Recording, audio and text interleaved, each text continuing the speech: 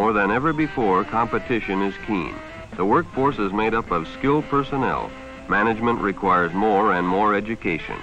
Yet today, a greater number of young people aren't completing their schooling or going on to higher education. In fact, many aren't even finishing high school. Today, almost a third of the students who enter high school will drop out before they graduate. They'll be known as the dropouts. The reasons for dropping out are individual and numerous. At the time, they probably seem justifiable. To Robert, the future looks bright. He's checked out of school and bids farewell to his girl and friends. Your newfound freedom holds the promise you've been waiting for, doesn't it, Robert? No more educational restrictions, the time to work and make enough to support your pleasures and your car. This is your world, Robert, and at the moment, this world looks good.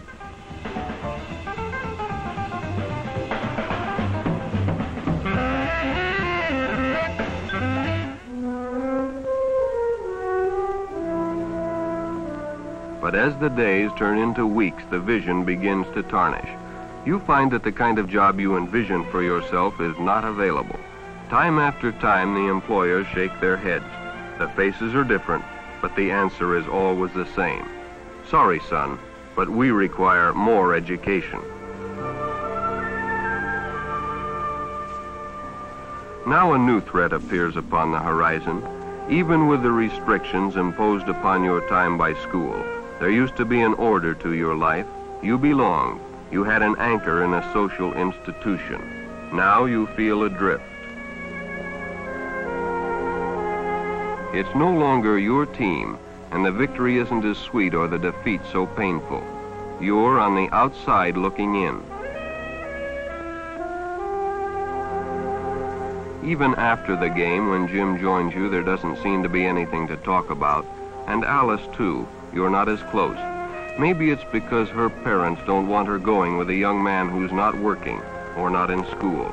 Now you meet in secret, but that will change once you find employment. The need for a job becomes imperative.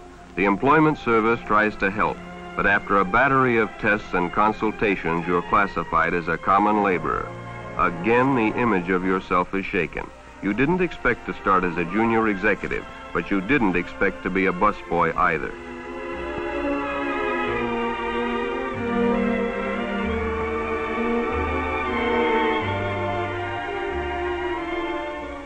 You and Alice have less and less to talk about. Her world is still very much associated with school, while day by day you grow farther away from school activities because you no longer feel you belong.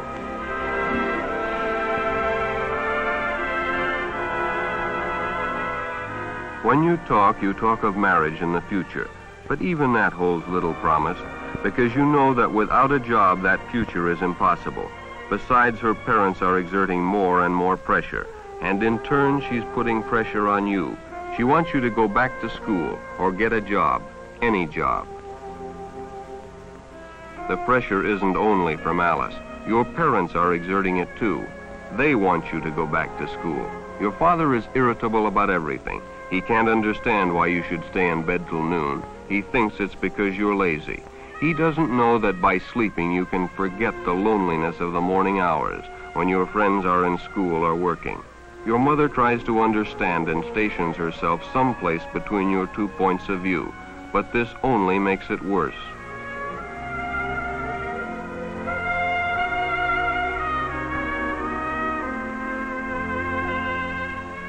Finally, the pressure becomes too great, and you downgrade your image one more step and take a job as busboy.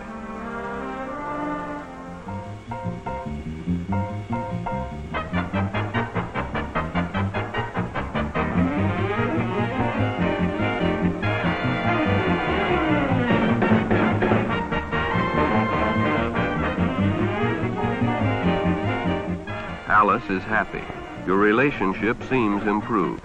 Now she can combat her parents' arguments with the fact that you're working. You both kid yourself that your employment has a future. For a little while, you live in this limbo of rationalization. You begin to make plans about your future, but as you do, you begin to see the futility of it all. You both know your job won't support a marriage. Alice's parents wanted to go to junior college. That means two years at least. The vision of your future starts to crumble, and with the crumbling, you begin to bicker and quarrel.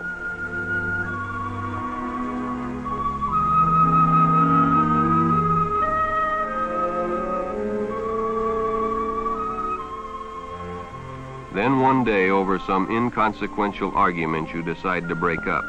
Your paths are now divided. Now your job becomes a chore. At first it was fun working where the gang collected after school. You got to see your friends.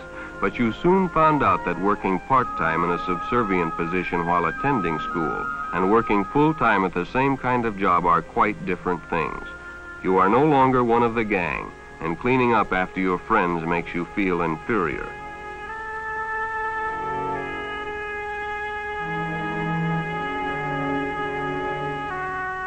Then one night it happens. Jim, his girl, Alice, and her date come in after a school dance. Suddenly you feel sick.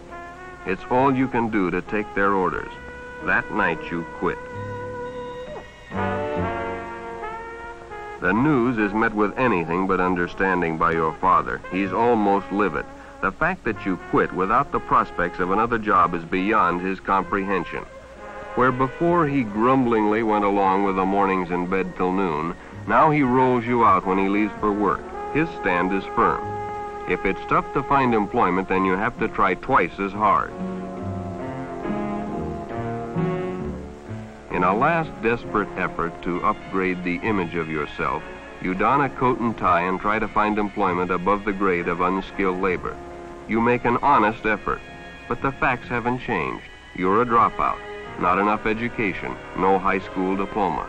The heads shake, the lips move, but the answer is always the same.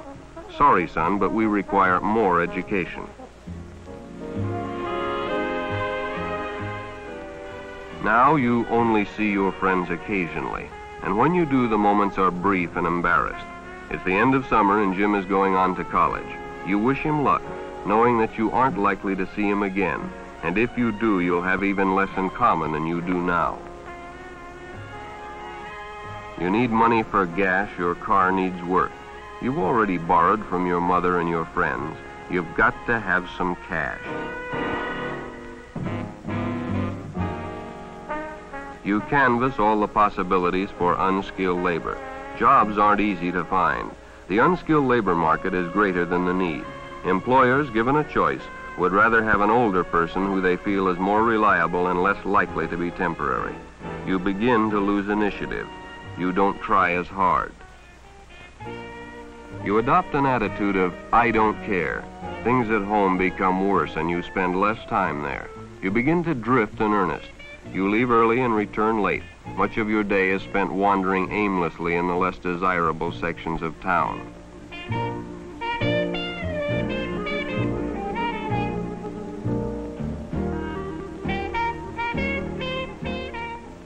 You meet new friends. They're like yourself. They have no place to go, nothing to do, and lots of time to do it in. The most popular hangout for your newfound friends is a pool hall on the Seamier side of town. The group consists of men of all ages, but they have one thing in common. They're beat.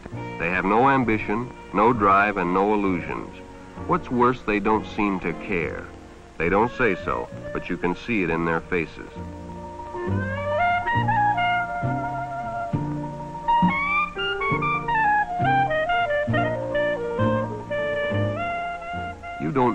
Much about Jake, except that he's never far from the pool hall.